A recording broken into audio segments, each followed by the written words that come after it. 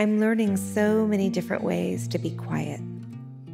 There's how I stand in the lawn, that's one way.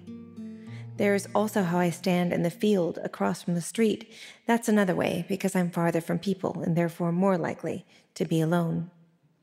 There's how I don't answer the phone, and how I sometimes like to lie down on the floor of the kitchen and pretend I'm not home when people knock.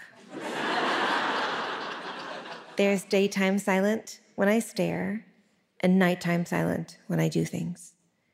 There's shower silent, and bath silent, and California silent, and Kentucky silent, and car silent, and then there's the silence that comes back, a million times bigger than me, sneaks into my bones, and wails, and wails, and wails, until I can't be quiet anymore.